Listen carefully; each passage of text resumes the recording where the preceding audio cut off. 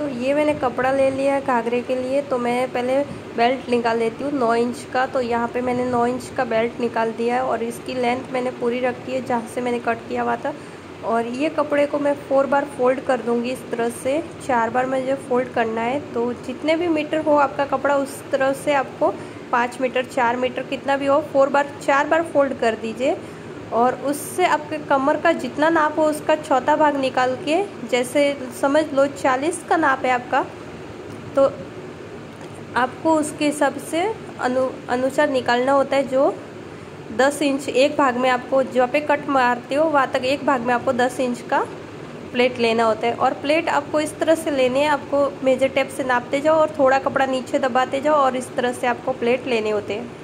तो यहाँ पे देख सकते हो इसी तरह से प्लेट को मेजर टेप से नाप रही हूँ और बिना मेजर टेप पे मैं नाप के भी बना सकती हूँ। तो पहले मैं इसकी लेंथ देख रही हूँ तो इसकी फोर्टी इंच लेंथ है तो मैं इसका एक भाग में जहाँ पे मेरा कट लगा है, वहाँ तक मुझे दस इंच तक आना चाहिए। तो मैं पहले देख लेती हूँ, आ गया मेरा। और कहीं एक्स्ट्रा हो जाएगा तो फिर हमें नुकसान हो जाएगा, वापस से खोलना पड़ेगा प्लेट और कभी कभी हो भी जाता है, मेरे साथ भी होता है तो मैं वापस से खोल के इसको करती हूँ। ऐसा नहीं कि जो सीखे हुए उसके प्लेट बराबर होते हैं, ऐसा नहीं होता है। सबके भी होते हैं कभी ऊपर नीचे तो हमें वापस से खोल के उसको ठीक करना होता है। तो मैं देख देख रही हूँ यहाँ पे, जैसे मेरा इस तरह से नापोगे तो कम मतलब बाई चांस कम होगा आपका प्लेट में मतलब कम पड़ना कपड़ा। जैसे पूरा होता है और जहाँ पे आपको प्लेट के नीचे कपड़ा ज़्यादा आ रहा है तो आपको पता भी चल जाएगा कि यहाँ पे नीचे आ रहा है। देखो, मेरा उन्नीस इंच ही हो रहा है, लेकिन यहाँ पे कम आया है कपड़ा। तो अब की बार मैं और कम लेना, नीचे कपड़ा जो दबाते हैं वो कम दबाऊँगी, जिससे मेरा बराबर हो जाएगा। और आपने अब तक हमारे चैनल को सब्सक्राइब नहीं किया तो कर दीजिए लाइक और शेयर करना ना भूलें।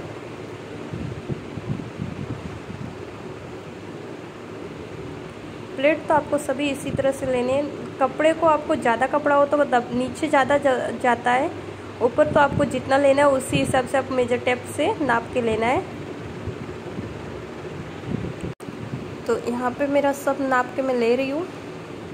और देखते क्या ये मेरा पूरे घाघरे में प्लेट बराबर होते हैं या खोलने की ज़रूरत पड़ती है तो वह बाद में पूरा होने के बाद पता चल जाएगा।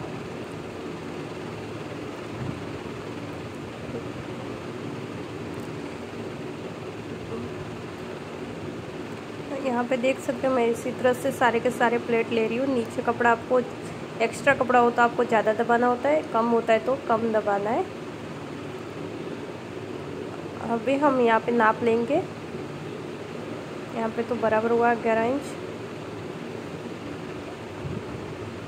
और इस तरह से आपको किनारे से थोड़ी थोड़ी पाँच छः जितनी सिलाई लेनी है दोनों साइड जहाँ पे आपको बेल्ट लगाना है, वहाँ पे।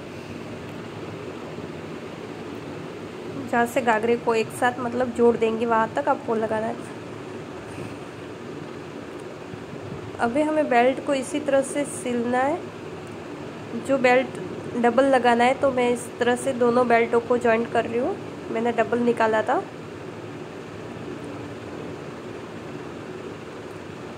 आप सिंगल भी लगा सकते हो, लेकिन डबल लगाने से आपका अच्छा रहता कपड़ा।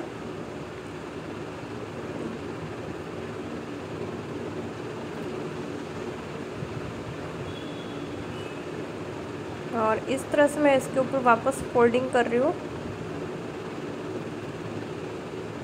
आप चाहो तो डबल भी निकाल सकते हो। मेरा तो नीचे से कपड़ा निकल गया था, इसलिए मैंने डबल बेल्ट नहीं निकाला है। ज़्यादा कपड़ा होगा तो आप निकाल सकते हो। नहीं तो आपका घेरे में कम पड़ेगा।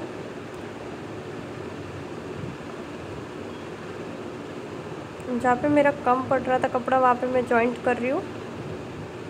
जो नीचे से निकला था वो कपड़ा कम था तो यहाँ पे मुझे जॉइंट करना हो रहा है। इस तरह से मैं पूरा जॉइंट कर दूँगी। और ये अब हमारा बेल्ट इस तरह से बन के रेडी हो जाएगा।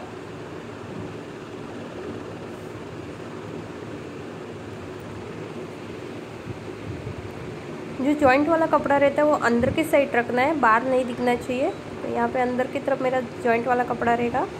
और इस तरह से वापस से मैं इसकी भी सिलाई कर दूँगी।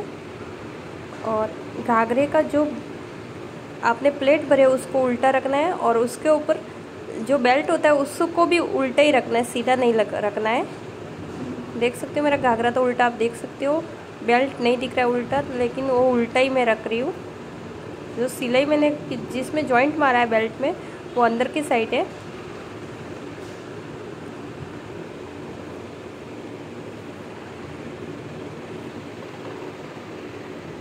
और इसी तरह से आपको पूरी सिलाई लेते जाना है और नीचे का कपड़ा आपके बेल्ट में ना आ जाए, आपको उस बात का ध्यान रहना है, देना है, उसी तरह से आपको सिलाई लेनी है और यहाँ पे एक्स्ट्रा कपड़ा मैं कट कर देती हूँ। और फिर यहाँ से वापस से इसे फोल्ड कर देती हूँ, जहाँ तक मुझे फोल्ड करना है वहाँ तक, ये हो चुका है फोल्ड अभी बेल्ट को आपको इसी तरह से ऊपर लगाना है। यहाँ पे थोड़ा मेरा आ गया था सिलाई में तो मैंने उसको निकाल दिया। और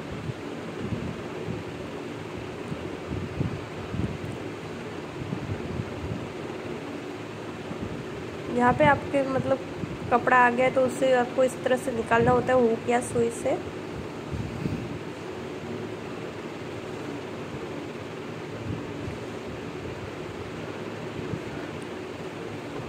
यहाँ पे बीच में मेरी क्लासेस चल रही है तो मैं उनको भी बताते जा रही हूँ अपने वीडियो के साथ।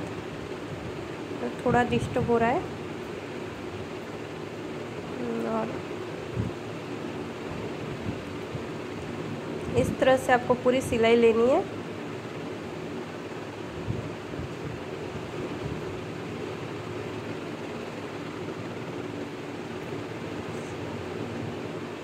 और बहुत ही आसानी से बेल्ट लग जाएगा और बेल्ट में बिल्कुल गूंज वूज नहीं आएगी। बेल्ट आपको एकदम सीधा निकालना है तो गूंज नहीं आएगी। तिरछा निकलेगा तो गूंज ज़रूर आएगी। आप कोशिश करें बेल्ट को सीधा कटिंग करें। तो यहाँ पे देख सकते हो मेरा ये बेल्ट बन के रेडी हो चुका है। और इसके प्लेट भी बराबर हुए, मुझे वापस से दोबारा खोलना नहीं पड़ा और ये देख सकते हो। अभी मैं इसकी मेज़रमेंट कर लेती हूँ। तो यहाँ पे देख सकते हो बराबर है। और अभी नीचे की जो सिलाई लेनी है, उसका हमें देखना है नाप। तो यहाँ पे इस गागरे से भी देख सकते हो और आप ऐसे भी देख सकते हो। तो अभी हमें नीचे की पट्टी फोल्ड करनी है तो मैंने वहाँ पे जहाँ पे कट लगाए थे उससे हिसाब से मैं लेते जा रही हूँ और फिर पट्टी को फोल्ड कर रही हूँ। तो जितनी हो पाँच इंच की हो, चार इंच की हो, मेजर टेप से नापते जाओ और पट्टी को फोल्ड करते जाओ। आपको इसी तरह से आपको फोल्ड करनी होती है। यहाँ पे देख सकते हो मैं इसी तरह से नाप रही हूँ और पट्टी को फोल्ड कर रही हूँ। और ये बात आसानी से पट्टी फोल्ड हो जाती है और गूंज भी नहीं आती है। आपको ज़्यादा पट्टी पसंद है तो ज़्यादा नहीं तो आप उसमें से जो आपका कपड़ा है तो नीचे का कपड़ा आपको पहले निकाल देना है, फिर आपको प्लेट ऊपर की तरफ़ से भरना होता है तो वहाँ से आपको पट्टी फोल्ड करने में आसानी हो जाएगी, एक बार में पट्टी फोल्ड हो जाएगी, नहीं तो दो बार सिलाई लेनी पड़ेगी धागा निकलने के हिसाब से। आपको इसी तरह से पूरा निशान लगाते जाओ और सिलाई करनी है।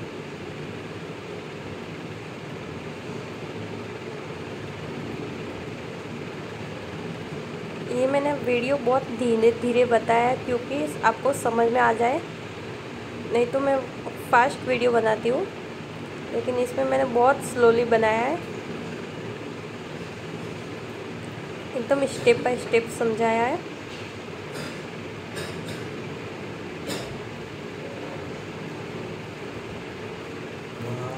चैनल को सब्सक्राइब करना ना भूलें क्योंकि वीडियो बनाने के लिए बहुत मेहनत लगती है। इसलिए आप सब्सक्राइब करोगे तो हमें हिम्मत मिलती है आगे बनाने के लिए वीडियो।